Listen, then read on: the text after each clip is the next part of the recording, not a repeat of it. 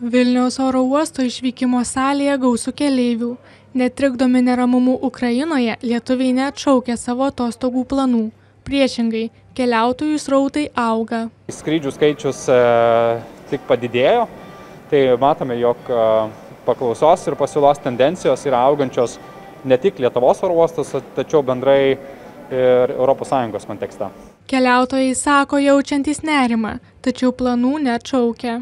Planų nepakeitė, kadangi važiuom į skrendam, tai yra į gimdymo dieną anūkės, tai ne, nekeitė nieko. Bet nuotaika tik tai bloga. Aš atskridau prieš 2,5 savaitės. Kai skridau, tai man sakė, kad nu, bendradarbiai, kad ar skrendi į karą, o ką tai tiesiog, kad atvažiavus nepajutau nieko. Mes tiesiog užsakėm kelionę, kurią negalima buvo atšaukti, tai ir keliaujam.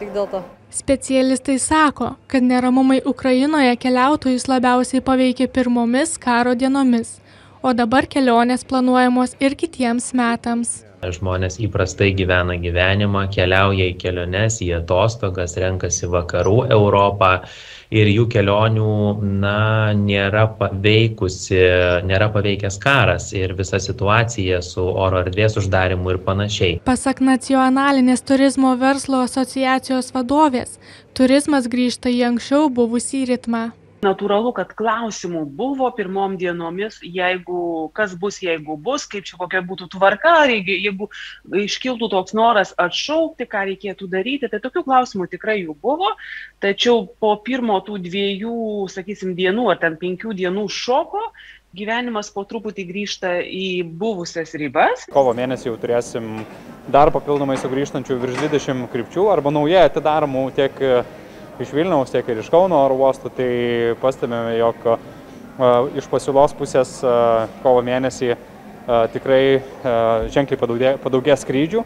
Populiariausios skrydžių kryptys išlieka tos pačios. Tautiečiai atostogoms renkasi šiltuosius kraštus. Panaikinus ribojimus pagrindinėse emigrantų šalise, Junktinėje karalystėje, taip pat ir Skandinavijos šalise, šios, šios dvi šalis tapo populiariausios bendrai Lietuvos oro uostų kontekste, tačiau kitos šalis tokios kaip Vokietija, Italija ar ne Prancūzija, Ispanija taip pat išlieka tarp populiariausių. Prasidėjus vasarai tikimasi dar didesnio keliautojų antplūdžio. Reporterė Ernesta Šneidaraitytė Vilnius.